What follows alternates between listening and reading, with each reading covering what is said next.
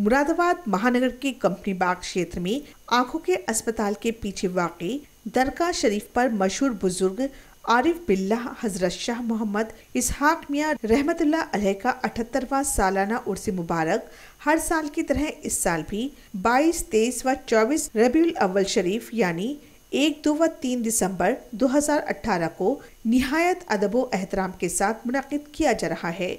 आस्तान आलिया इसहाकिया के सज्जादा नशीन, अलहाज मोहम्मद इकबाल इसाके से मिली जानकारी के मुताबिक, तीन रोज़ा उर्स पाक के पहले रोज़, एक दिसंबर बरोज़ हफ़्ता, बाद नमाज़ अजर कुल शरीफ और बाद नमाज़ इशा, महफिल नातो मनकबत व उलमाई किराम की तकरीर होगी। दूसरे रोज़, दो दिसंबर बरोज़ इतवार बाद नमाज़ असर आशिक औलिया, हज़रत हाफिज मोहम्मद अखलाक मियाँ अलैह का कुल शरीफ और बाद नमाज़ ईशा महफिल सिमा होगी। तीसरे व आखिरी रोज, तीन दिसंबर बरोज पीर बाद नमाज़ असर महफिल नातो मनकबत बाद नमाज़ मगरब, ख़ास कुल शरीफ, दस्तार बंदी व खिलाफ पोशी होगी। बाद नमाज़ ईशा महफिल सिमा आरास्ता की जाएगी। और सुबह को चार बजकर तीस मिनट पर विसाली कुल शरीफ होगा।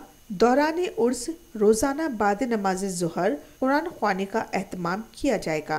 आस्ताना आलिया इसहाकिया के सजादा नशीन अलहाज मोहम्मद इकबाल इसहाकी और इसहाकी खान वादी के सभी अरकान ने तमाम ही अकीदतमंदों से उर्स मुबारक के सभी प्रोग्रामों में शिरकत की गुजारिश की है।